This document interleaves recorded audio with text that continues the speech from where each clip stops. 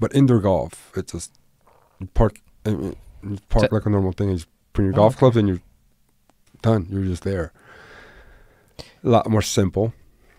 And you bring your own clubs, so you yeah, still bring use your own clubs or not. I mean, you could use. It's not like putt putt where they're like, here's no, no, the no, putter you no, use. It's actually Oh. very, very legit. Like Tiger Woods is involved in it, and Hey Paul, can we uh, uh, get a picture? Maybe you can go on a web browser, a new tab, and bring up indoor golf